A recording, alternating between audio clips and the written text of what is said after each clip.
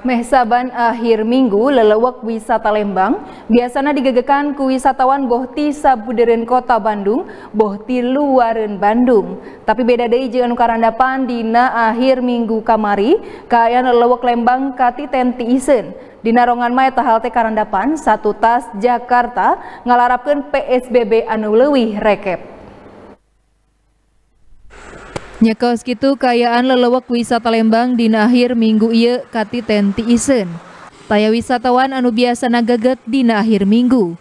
Tapi di akhir minggu iya wisatawan kati tenti isen di salah wisata favorit Lembang. Kayaan meh-mehan ti isen ukur seetik wisatawan anu nyorang kegiatan di eta tempat. Kayaan samodel kitu teh karandapan meh minggu kantom pernakeun satu tas ibu kota Jakarta ngalarapkeun deui PSBB anu leuwih rekep.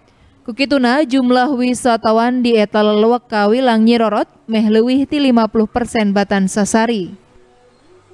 Pada awal PSBB dari Jakarta juga itu sudah kita sudah turun sangat drastis, apalagi sekarang diperpanjang kan ya sampai tanggal 11 itu memang eh, pengunjung yang datang itu sangat eh, sangat turun jadi agak sepi juga karena memang eh, utamanya yang datang wisatawan yang datang itu eh, biasanya dari Jakarta dan sekitarnya ya betul jadi di beberapa tempat di kawasan Lembang itu rata-rata semuanya sepi Pihak anu ngokolakeun wisata te bisa ngerong iraha-irahana jumlah wisatawan bakal sabihara sabihari deui. Tapi diri nami harap Jakarta bisa sagancangna normal deui. Algi Muhammad Gifari, Bandung TV.